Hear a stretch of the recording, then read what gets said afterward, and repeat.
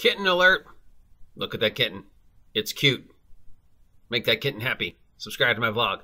Hello and welcome. Good morning. It is Wednesday. It looks like I need a haircut. Uh, in most corners of the world, it's about 8.30 in the morning. It is the 31st day of August. We made it through August, and now it is technically officially fall, even though we're in the middle of a heat wave because weather. And uh, broadcasting to you live from Site B is the OGGM with this week's RPG print news.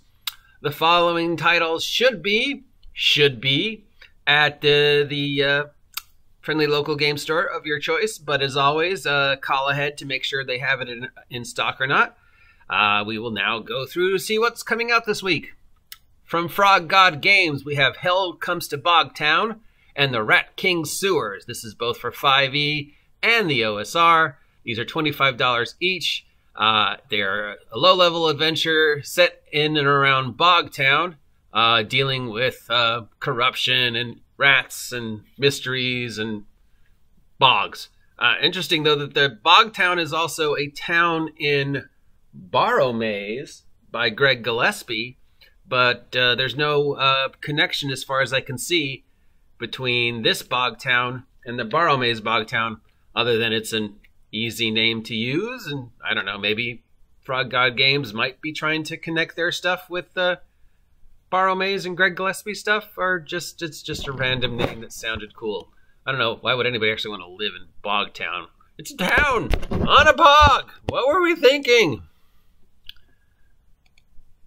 Well, that explains why the land was cheap. Ah, uh, from Limitless Adventures, we have North Africa Mystery in the Sahara. Dungeons and Dragons 5th edition softcover supplement. This is a World War II type campaign using pre generated characters, uh, dealing with uh, uh, World War II mysteries and desert stuff, set, I guess, in the Sahara Adventures, but using the 5e engine. Hmm, so hopefully they're going to show in this game how you convert 5e to a World War II type game. We'll see. Um, from Hurtleberry Press, we have Gig Economy for the OSR. This is a $10 zine, and inside it are 200 weird and fun and quirky things to add to your uh, OSR game, including things like NPCs, hirelings, town folks, lackeys, minions, steves, those kind of things.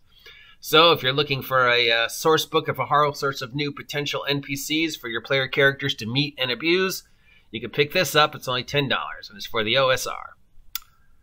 From Crucible 7, we have the Doctor Who role playing game second edition and the Doctor Who role playing game collector's edition. It's uh, $50 for the normal game and $100 for the collector's edition.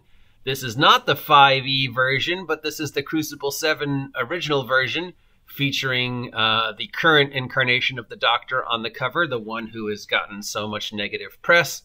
Uh, yeah, she wasn't my favorite Doctor either, but whatever. I know some people liked her. So it's all sorts of stuff for the Doctor Who role playing game. So if you've ever wanted to play a Doctor Who role playing game uh, and use the original system it was designed for, well, one of the many, check this out $50 for the standard book, $100 for the special edition don't, don't be surprised by the cost of the special edition one. Special edition ones are going to be the future of physical print game stuff. Um, I don't know, you know, unless everybody is a Time Lord or everybody's a companion and the Time Lord's an NPC. I don't know how a Doctor Who role playing game works because you've got the Time Lord and then you've got everybody else. And if one person's playing a Time Lord and everybody else is just playing the standard, you know, companions, that's like having a 10th level character running around with a first level character. The best way to do a Doctor Who campaign, I think, is just to have all companions, no Time Lord, and they find a TARDIS. And then they just go off on adventures. Basically, Spelljammer. Uh, from BRW Games, we have Toil and Trouble. This is an adventure module for the OSR, specifically Adventures Dark and Deep and Castles and Crusades. Uh, it's an adventure about werewolves in the OSR. Uh, so if you want to get a ten a six dollar OSR adventure about werewolves, there's this. From Cloven Pine Games, we have for Powered by the Apocalypse, Back Again from the Broken Land and the Great Soul Train Robbery. These are two soft cover rule books running about $20 each. Uh, Back from the Broken Lands are a game about adventurers sharing stories on a long walk. Um, played in only three sessions. So if you're looking for a short, bittersweet game about the walk home, you know, like if you wanted to role play the end of The Hobbit when everybody went home and they were just like talking and reminiscing about the adventure and, you know, the adventure will, uh, well, all the excitement is over now. What am I going to do?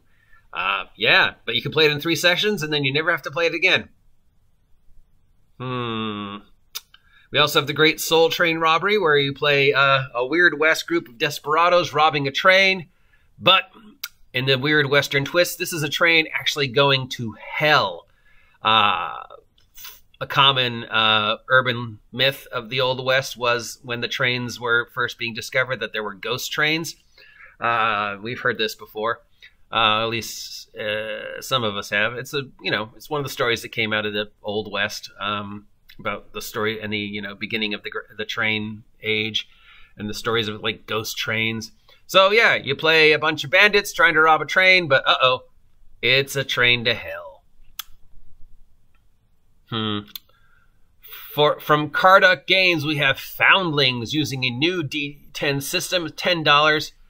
You are anthropomorphic creatures living on the fringe of a polluted forest at the edge of the ruins of a once great civilizations, where you play anthropomorphic creatures like, you know, anthropomorphic bears, anthropomorphic monkeys, anthropomorphic owls, trying to eke out a life in a post apocalypse world uh, of salvage and wonder. So it's a post apocalypse game, but instead of playing humans, you're playing anthropomorphic sheep. Eh. From John Adamus for Powered by the Apocalypse, we have Noir World. This is a $40 collective experience where everyone acts and directs as part of a movie. The group creates over 20 roles to play, uh, where you play a whole bunch of stories, I guess, in a film noir movie. So you're playing people who are writing the movie, but you're also playing the characters in the movie. And this is all about relationships and crime and danger set in a film noir world using Powered by the Apocalypse. $40. From Adams Media, we have the Ultimate RPG Character Backstory Guide. This is a soft cover supplement for $16. Helps you build an existing character, create a new one with activities that provide plenty of RPG support for fantasy. So, for all those people who want to do 10 page backstories for their characters that, you know, never really matter, Here's a book to help you do it. Personally, if your backstory is longer than two paragraphs or two sentences, even, uh, you're wasting my time. Yeah. You should not be worried so much worried about backstory. Even Gygax said, "Don't worry about backstory. Worry about forward story. Worry about the character's forward story, the life they're going to make from the point of creation on, and the stories they're going to take. The backstory should just be a few words, a few key um, things to sort of give you a general direction of what the character did before they started adventuring, what happened to the character before they started adventuring, but everything else should be telling the story about the character going forward. Yeah, if you need a whole book that's sixteen dollars, yeah, that's that's my no for the day. That's my no. Yeah, that's just yeah. You know what? Just take a creative writing class. Um, so yeah, no film noir, no anthropomorphic animals. It's been done. Uh, yeah, I don't know. Nothing really stands out this week. Um, but there you go. If any of these products sound like, yeah, God, I do need a haircut. Look at this, right? Just my hair never wants to be what it wants to be. If any of these sound like something you want to get, just contact your local game store and make sure they have it in stock or can order it for you and let them know the OGGM sent you.